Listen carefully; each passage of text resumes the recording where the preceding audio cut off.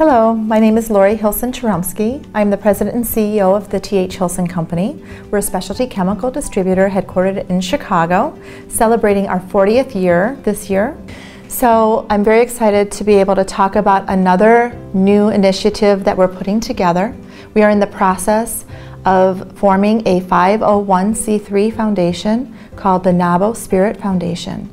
And what this will provide is scholarships to, for entrepreneurship for students to develop our next generation of young women entrepreneurs and also to charities that are going to give seed money or startup money for underprivileged women to be sustainable and have a sustainable business. I'm really excited about this and more details will follow throughout the year as we get our um, application process underway, but it's something that's near and dear to my heart to empower young women and women and entrepreneurs to be sustainable in the future.